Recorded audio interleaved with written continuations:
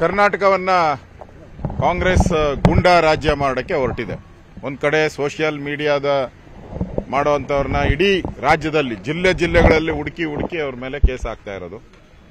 ಮಾಧ್ಯಮದವರು ನಿಮ್ಗೆ ಯಾರು ವಾಟ್ಸಪ್ ಕಳಿಸಿದ್ರು ಅಂತೇಳಿ ಮಾಧ್ಯಮದವ್ರಿಗೆ ನೋಟಿಸು. ಕಾಂಟ್ರಾಕ್ಟರ್ಗಳು, ಗವರ್ನರ್ಗೆ ಲೆಟರ್ ಕೊಟ್ರೆ, ಗವರ್ನರ್ಗೆ ಯಾಕೆ ಲೆಟರ್ ಕೊಟ್ರಿ ಅಂತ? ಕಾನ್ಸ್ಟಿಟ್ಯೂಷನಲ್ ಅಥಾರಿಟಿ ಅವರೇ ರಾಜ್ಯದ ನಂಬರ್ ಮೊದಲ ಪ್ರಜೆ ಅವರೇ. ಅವ್ರ ಲೆಟರ್ ಕೊಟ್ರೆ ಅವ ಗೂಂಡಾಗಿರಿ ಮಾಡ್ತಕ್ಕಂಥದ್ದು. ಮತ್ತೆ ಪದೇ ಪದೇ ಹೇಳ್ತಾ ಇದ್ದಾರೆ. ಸಿದ್ದರಾಮಯ್ಯನವರು ಡಿ ಕೆ ಶಿವಕುಮಾರ್ ನೀವು ಬಿಜೆಪಿ ಇದ್ದಾಗ ಯಾಕ್ರಿ ಬಿಲ್ ಕೊಟ್ಟಿಲ್ಲ ಅಂತ? ನಾವು ಒಂದಿನ ನಿಲ್ಸಿಲ್ಲ. ಮುಖ್ಯಮಂತ್ರಿಗಳು ಇಲ್ಲ ಇದ್ದಾರೆ. ಒಂದು ದಿನ ಯಾವುದೇ ಬಿಲ್ ಅನ್ನ ಇಡೀ ರಾಜ್ಯದಲ್ಲಿ ನಾವು ನಿಲ್ಸಿಲ್ಲ. ನಮ್ಮ ಸರ್ಕಾರ ಬಂದ ಮೇಲೆ ಕಾಂಗ್ರೆಸ್ ಸರ್ಕಾರ ಇದ್ದಂತ ಸಂದರ್ಭದಲ್ಲಿ ಅವ್ರೇನು ಕೋಟ್ಯಾಂತರ ರೂಪಾಯಿ ಸಾವಿರಾರು ಕೋಟಿ ಒಂದಲ್ಲ ಸಾವಿರಾರು ಕೋಟಿ ಬಾಕಿ ಹಣ ಇತ್ತಲ್ಲ ಆ ಎಲ್ಲ ಬಾಕಿ ಹಣಗಳನ್ನು ಸೀನಿಯಾರಿಟಿ ಆಧಾರದ ಮೇಲೆ ನಾವು ಬಿಡುಗಡೆ ಮಾಡಿದ್ದೀರಿ. ಕಾರ್ಪೊರೇಷನಲ್ಲೂ ಕೊಟ್ಟಿದ್ದೀರಿ, ಪಿ ಡಬ್ಲ್ಯೂ ಡಿ ಯಲ್ಲೂ ಕೊಟ್ಟಿದ್ದೀರಿ, ನೀರಾವರಿ ಇಲಾಖೆಯಲ್ಲೂ ಕೊಟ್ಟಿದ್ದೀರಿ. ಒಂದಿನೂ ನಾವು ನಿಲ್ಲಿಸಿಲ್ಲ ಯಾವುದೋ ಕಾಂಗ್ರೆಸ್ ಪೆಂಡಿಂಗ್ ಇದೆ ಅವ್ರು ಪೆಂಡಿಂಗ್ ಕೊಟ್ಟಿದ್ದು. ನಾವಲ್ಲ ಪೆಂಡಿಂಗ್ ಬಿಲ್ ಇಟ್ಟಿಟ್ಟು ಹೋದವರು ಕಾಂಗ್ರೆಸ್ ಅವರು.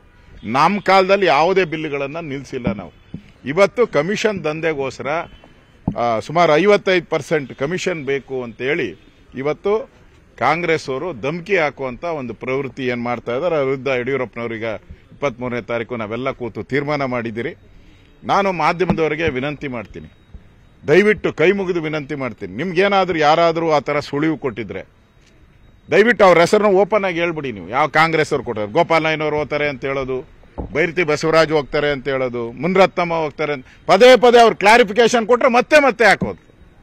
ದಯವಿಟ್ಟು ಕೈ ಮುಗಿತೀನಿ. ದಯವಿಟ್ಟು ಅದನ್ನ ಬಿಡಿ ಯಾವನ ಹೇಳ್ತಾರೋ ಆ ಕಾಂಗ್ರೆಸ್ ನಾವನ್ನ ಅವನ್ನ ಅವ್ರನ್ನ ಹೆಸರು ಹೇಳ್ಬಿಟ್ಟು ಹೇಳಿ ನಮ್ಮ ಎದುರುಗಡೆನೆ ಹೇಳಿ ಬಂದು. ನಾವು ಡಿಬೇಟ್ಗೆ ರೆಡಿ ಇದ್ದೀರಿ ನಾವು. ಅವ್ರ ಎದುರುಗಡೆ ಡಿಬೇಟ್ ಮಾಡ್ತೀರಿ ನಾವು. ಸರ್, ಈಗ ಬಿಜೆಪಿ ಶಾಸಕರು ಹೇಳ್ತಾರೆ ಸಿದ್ದರಾಮಯ್ಯ ನನಗೆ ರಾಜಕೀಯ ಸಿದ್ದರಾಮಯ್ಯನವರು ನನ್ನ ಸಿದ್ದರಾಮಯ್ಯ ಶಿಷ್ಯ ನಾನು. ರಾಜಕೀಯ ಗುರು ಡಿ ಕೆ ಶಿವಕುಮಾರ್ ಅಂತ. ಈ ಒಂದು ಹೇಳಿಕೆಯಿಂದ ಇಷ್ಟು ದೊಡ್ಡ ಪ್ರಮಾಣದಲ್ಲಿ ನೋಡಿ ನೋಡಿ ಮಧುವರೇ ಹಿಂದೆ ಡಾಕ್ಟರ್ ಸುಧಾಕರ್ ಅವರು ಪರಮೇಶ್ವರ್ ನಮ್ಮ ಗುರು ಅಂತ ಹೇಳಿದ್ದಾರೆ. ಅದು ಬೇರೆ ಅದು. ಬೇರೆ ಬೇರೆ ಸಂದರ್ಭದಲ್ಲಿ ಹೇಳ್ಬೋದು. ಯಡಿಯೂರಪ್ಪನವರು ಬೇಕಾದ ಕಾಂಗ್ರೆಸ್ ಜನ ನಮ್ಮ ಗುರು ಅಂತ ಹೇಳಿದ್ದಾರೆ ಮುಖ್ಯಮಂತ್ರಿ ಇದ್ದಾಗ. ಬೊಮ್ಮಾಯಿಯವರು ಮುಖ್ಯಮಂತ್ರಿ ಇದ್ದಾಗ ಬಹಳಷ್ಟು ಕಾಂಗ್ರೆಸ್ ಸದಸ್ಯರು ಬೊಮ್ಮಾಯಿಯವರು ನಮ್ಮ ಗುರು ಅಂತ ಹೇಳಿದ್ದಾರೆ. ಅದು ಬೇರೆ. ರಾಜಕೀಯ ಬೇರೆ, ಗುರು ಬೇರೆ. ಗುರು, ಅಪ್ಪ ಒಂದು ಪಾರ್ಟಿ, ಮಗ ಒಂದು ಪಾರ್ಟಿ, ಅಣ್ಣ ಒಂದು ಪಾರ್ಟಿ, ತಮ್ಮ ಒಂದು ಪಾರ್ಟಿ ಇರೋ ಕಾಲ ಇದು. ಇದರಲ್ಲಿ, ಅಲ್ಲ, ನೋಡಿ, ಅದಕ್ಕೆ ಇಲ್ಲಿ ಗೋಪಾಲಯ್ಯನವರು ಇದ್ದಾರೆ. ಗೋಪಾಲಯ್ಯ, ನೀವು ಕೇಳಿಗಳಿ. ಒಂದೇ ಸರಿ ಕೇಳಿ. ಮುನ್ರತ್ನಮ್ಮ ಅವರು ಕೇಳಿದ್ದಾರೆ ನೀವು ಅವ್ರ ಕಾಂಗ್ರೆಸ್ ಅವ್ರ ಮಾತಿಗೆ ಬೆಲೆ ಕೊಡಬೇಡಿ. ಅವರು ಓಪನ್ ಆಗಿ ಹೇಳಿದ್ದಾರೆ. ಶಾಸಕರು ಅವರು ನಮಗೆ ನನಗೆ ಟಾಸ್ಕ್ ಇದೆ. ಡಿ ಕೆ ಶಿವಕುಮಾರ್ ಟಾಸ್ಕ್ ಕೊಟ್ಟಿದ್ದಾರೆ. ಎಸ್ ಟಿ ಸೋಮಶೇಖರ್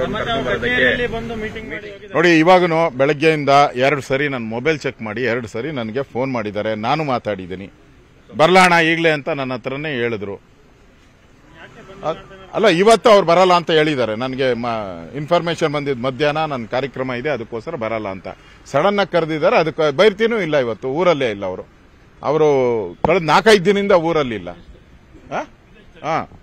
ಅವ್ರು ಇಲ್ಲ, ಊರಲ್ಲೇ ಇಲ್ಲ. ಆದ್ರಿಂದ ನೋಡಿ, ಇಲ್ಲಿ ಇಬ್ಬರು ಇದ್ದಾರೆ. ಇಬ್ಬರು ಕೇಳ್ಕೊಳ್ಳಿ. ಉಳಿದಿಬ್ಬರು ಬಂದು ಪ್ರೆಸ್ ಮೀಟ್ ಅಲ್ಲಿ ನಾವು ಹೇಳ್ತಾರೆ. ಇನ್ನೊಂದ್ಸರಿ ದಯವಿಟ್ಟು ಮುನ್ರತ್ನ ಮುನ್ರತ್ನಂ ಮೇಲಾಗ್ಲಿ, ಗೋಪಾಲಯ್ಯನ ಮೇಲಾಗ್ಲಿ, ದಯವಿಟ್ಟು ಹಾಕ್ಬೇಡಿ. ಅವರು ಬಂದ ತಕ್ಷಣ ಅವ್ರದ್ದು ನಾನೇ ಕರ್ಕೊಂಬಂದು ಮಾಧ್ಯಮದ ಮುಂದೆ ನಿಲ್ಲಿಸ್ತೀನಿ ನಾನೇ. ನಾನೇ ನಿಲ್ಲಿಸ್ತೀನಿ ಮಾಧ್ಯಮದ ಮುಂದೆ. ಸುಮ್ಮನೆ ಕಾಂಗ್ರೆಸ್ ಅವರು ಯಾಕೆ? ಇವ್ರು ಯೋಗ್ತೆ ಕಾಂಗ್ರೆಸ್ ಅವ್ರಿಗೆ ಮಾನ ಮರ್ಯಾದೆ ಇದ್ರೆ ನಿಜವಾಗ ಅವ್ರಿಗೆ ಮಾನ ಮರ್ಯಾದೆ ಇದ್ರೆ ಅವತ್ತು ಹದಿನೈದು ಜನ ಬಿಟ್ಟು ಹೋದ್ರಲ್ಲ, ಅವಾಗ ಏನ್ ಮಾಡ್ತಾ ಇದ್ರು? ಮಣ್ಣು ತಿಂತಾ ಇದ್ರ ಕಾಂಗ್ರೆಸ್ ಅವರು.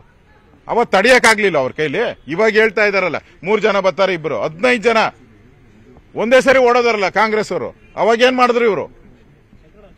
ಅವಾಗೆ ತಡಿಯಕ್ಕೆ ನೀವೇ ಕಳ್ಸಿಕೊಟ್ರೆ ಹಂಗಾರೆ? ನೀವೇ ಕಳ್ಸಿಕೊಟ್ರೆ ಹಂಗಾರೆ? ಅದರಿಂದ ನಿಮ್ ಫಸ್ಟು ನಿಮ್ಮಿಂದ ಯಾಕೆ ಹದಿನೈದು ಜನ ಪಾರ್ಟಿ ಬಿಟ್ಟು ಹೋದ್ರು ಅಂತ ಮೊದಲು ಆತ್ಮಾವಲೋಕನ ಮಾಡ್ಗಳಿ. ಆಮೇಲೆ ಬೇರೆ ಪಾರ್ಟಿ ಸುದ್ದಿಗ ಬರೀರ.